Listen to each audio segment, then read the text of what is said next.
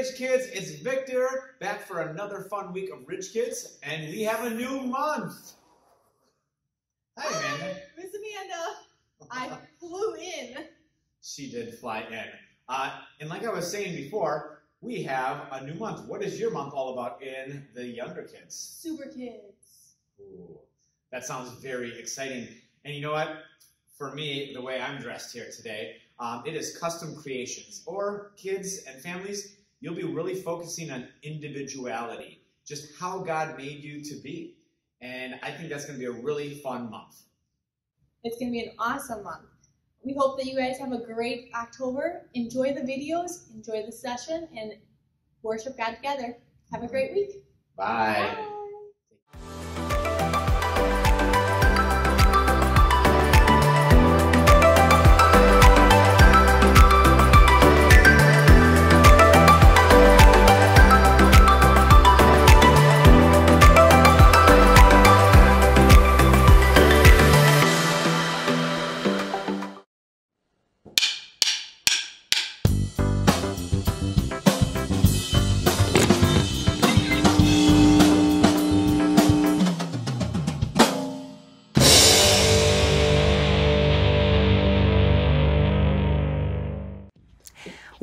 Favorite kind of cookie to make? I'm a big fan of gingerbread. I love turning out the exact same shape over and over and over and over. You don't even have to be an artist to make gingerbread cookies come out just right. But the best works of art don't come from a mold. They're unique, original, one of a kind. And the greatest work of all time is you. God made you to reflect a little bit of who He is to the world around you. But He made you to reflect Him in a way that's entirely different from your brother, your mom, your neighbor, or even that popular kid at school. God made only one you, and He made you on purpose. No one else in the entire world can fill that perfect spot He crafted just for you. And when you discover who God made you to be, you can make a greater difference in this world than you could ever imagine. That's why individuality is an amazing way to worship God with your life. Because worship is about more than just singing loud, it's all about living loud.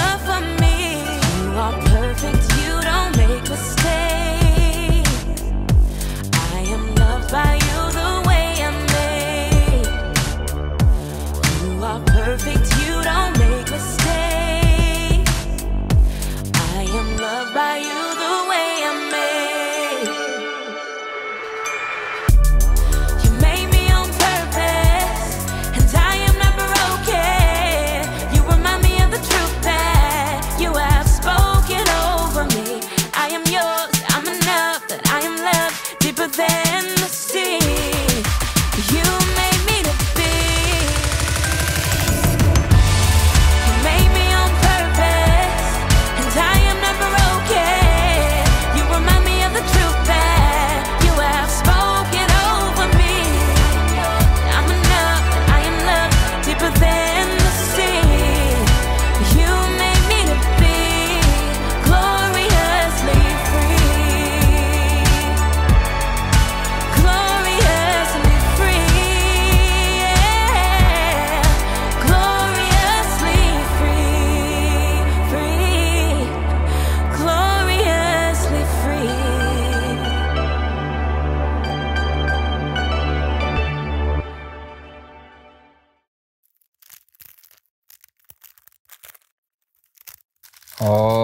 Oh, I know that sound. Uh-huh.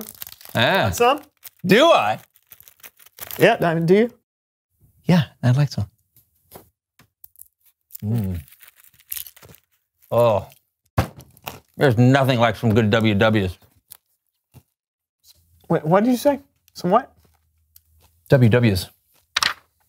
The candy we're eating. WWs are my favorite candy. My whole life, I've been a fan of WWs. I used to go to door to door in my neighborhood as a kid saying, trick or treat, give me some WWs. and people would just look at me like I was crazy. Mm. It's because they're called M&Ms, not WWs. M&Ms. Yeah. You've been reading them upside down. That doesn't make any sense. That doesn't sound like something I'd do.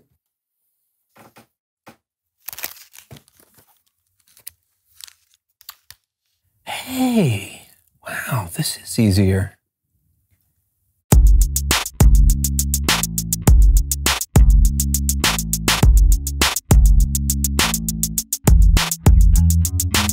Oh, hey, everybody, I'm John. And I'm Brandon. And you're watching the So and So Show. What are you doing with the mannequin? I am putting a beard on him. Yes, that is obvious. I can see that. Yeah, well, who is who is simultaneously the coolest and weirdest person you know? Uh, Longbeard Carl. Exactly. What does that have to do with the mannequin? Oh, well, I've been thinking that me and you are, are pretty good hosts of this show, right? Thanks. But we're not perfect. Okay. We can't possibly be the best hosts ever because we have too many flaws. Speak for yourself. But what if I took the parts we like from different people and made one ultra super host? Uh, uh, wait, wait. So, wait, the mannequin's going to take my place? Come on, it'll be great. Okay, let's see. We have Longbeard Carl's beard, right? We've got uh, Taco Cat T. Uh, t- taco cat spelled backwards is taco cat. Right. Next, I need. Uh, Uh, taco cow spelled backwards is woko cat. I think that our co-host would have an excellent singing voice. Well, I wonder, wonder. Ooh. I know. I know. Our good friend Fred. Eating my tray of lasagna. But I want to give you a big thank you for that big tray of lasagna. Lasagna! That was beautiful. This should remind us. How could we ever forget? Okay. Our host should be wise, Well- like Kellen. I wish I were wise like Kellen. Wait, why are you putting? Oh, oh, oh I get it. Because wisdom is like brain smarts that comes from your heart. Ah, it's very wise of you, John. Really? Yeah, we all have our moments. Oh, yes, we do. Let's see. What else would make a perfect host? Lasagna.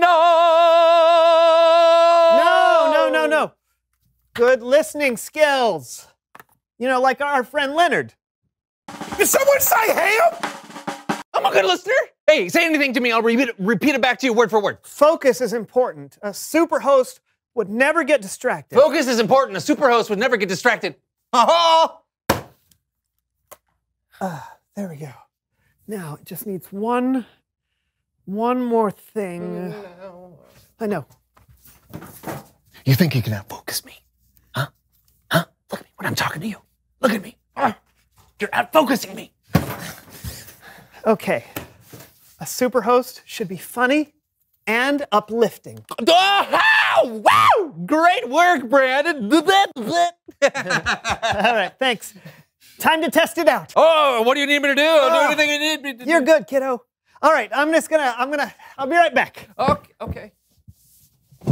You need you need some help? No, no, I got it. Well, he, he looks You're like good. I, I can help you. I really could. Oh.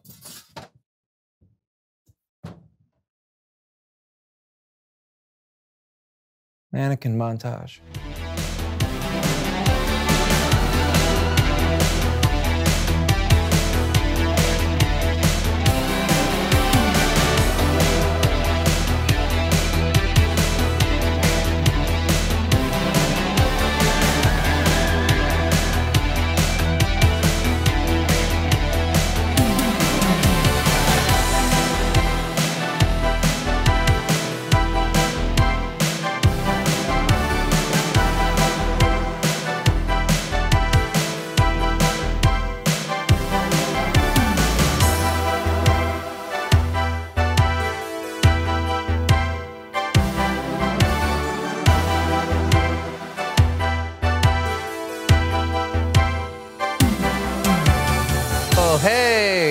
Finally decided to come back to the show. huh? Yeah, I think our superhost is ready for phase two of his training. What's that? Bible story time with Kellen.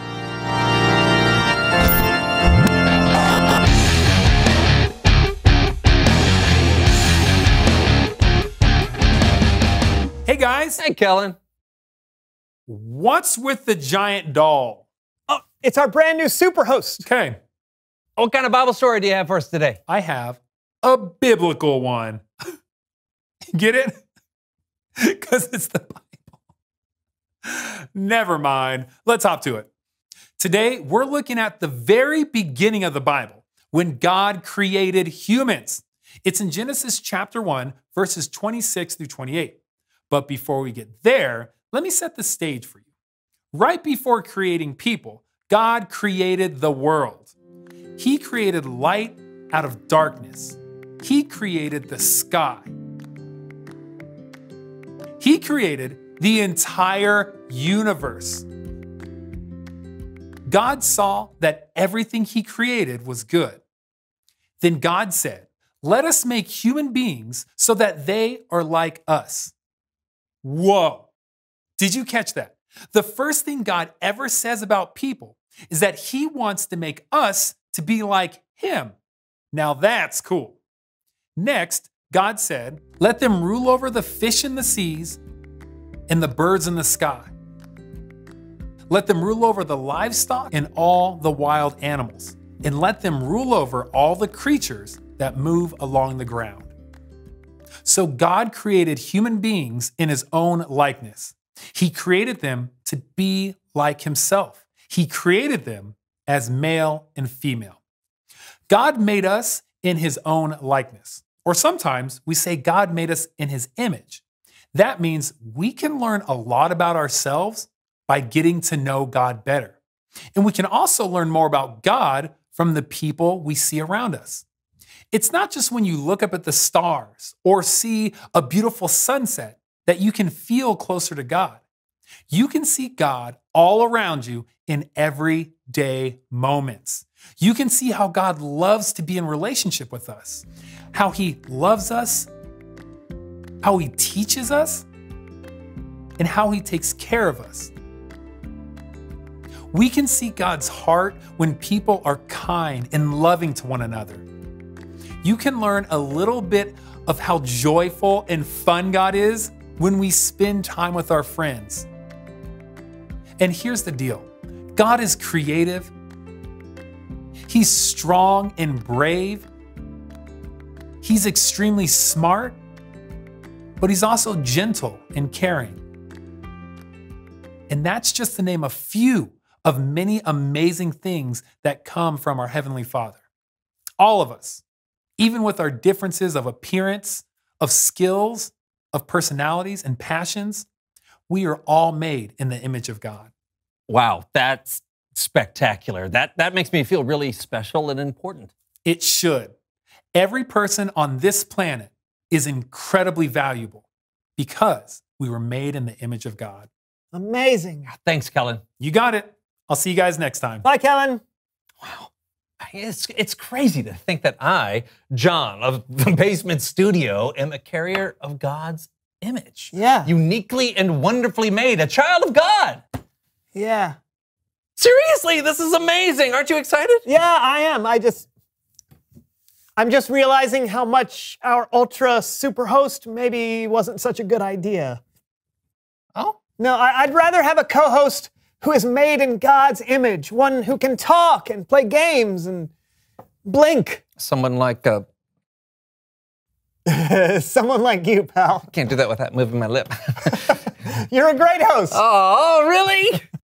Thank you, buddy. Yeah. So, uh, uh, what most about my hosting skills reminds you I was made in God's image? Is it my good looks, my, my sense of humor? Is it my minty fresh breath? Yeah. Reveal the question. How would you describe God?